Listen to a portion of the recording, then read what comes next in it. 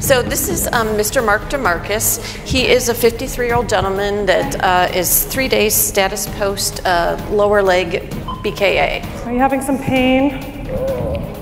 You feel a little bit warm. Mr. Mark DeMarcus.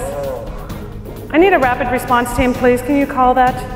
Rapid Mark, response can you team, wake up for Ward me, 3C, room 321. So this is Mr. Mark DeMarcus. I literally just got report. I don't know a lot about him. Hey, Mark, we've got some people here to help you.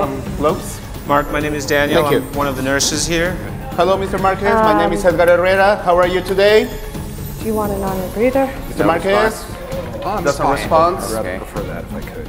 All right, heart rate 96, Okay. sat of 92. Can we cycle the uh, cuff again? Connected.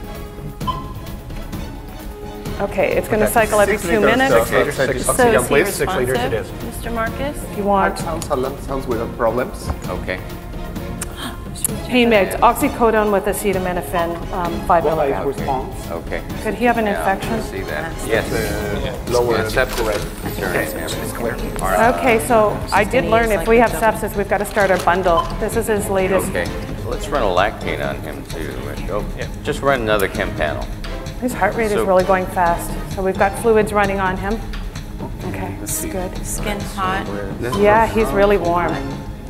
Okay, fluids So, going. so our presumptive diagnosis is a early stage of sepsis right now? Okay, guys, that's a wrap. We're going to grab a chair and go over to debrief. Having these practice scenarios gives us real opportunities to think about the way we run these and to think about, okay, maybe we need to go back and I need to talk to my team and say, if this happens, what do I do?